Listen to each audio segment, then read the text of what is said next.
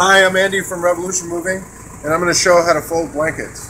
If we got a uh, soup sandwich like this, this is the first thing that the customer sees when you open up the truck, so it's obviously not going to lend a very uh, professional impression. So what we want to do is we want all the corner sides like this, the ones that are folded over, on the same side.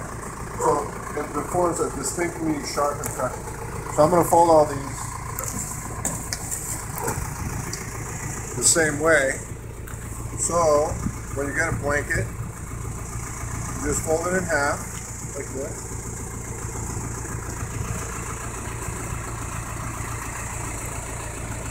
And then you fold it in half again. So now you have you have a square, right? Except it's it's not really a square. It's fatter this way than it is this way. This is the long way, or the skinny way, and then this is the fat way right here.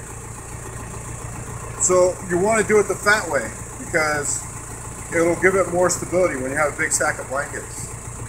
There's some people that do it the skinny way and just ratchet them down to the side, which is fine too. But in this company, we do it the fat way. If you fold them all the same way every time, they'll develop like creases. And then they'll be easier to fold and they'll drape over the furniture easier.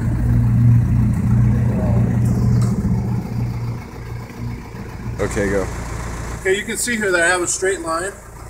Um, and it looks a lot better from this end than it would from this end. And hopefully it'll stay,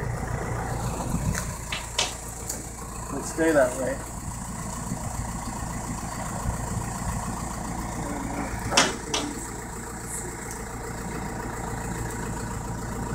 There's all the folded side here and the folded side here, and then these are.